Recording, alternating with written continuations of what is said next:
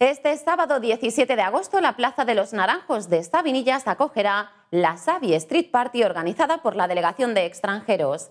En este evento podrán disfrutar de dos conciertos gratuitos, así como de la amplia oferta gastronómica de los bares y restaurantes de dicha área.